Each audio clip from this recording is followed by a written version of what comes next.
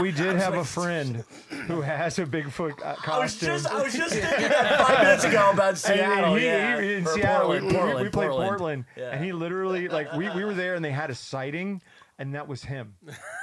like they had a sighting, and he's like, dude, he's like, he's like, look at the news. He's like, that's me. And so we're we're playing his show, and he jumped up on stage with us, and, and his his suit is pretty. Oh, it's legit. It's It's, it's, huge. It's, It's, it looks like it's it's like looks like a yeti, and so he jumped up on stage, and he's like, but they literally the day before they the sighting was him. He's like, that was me, man.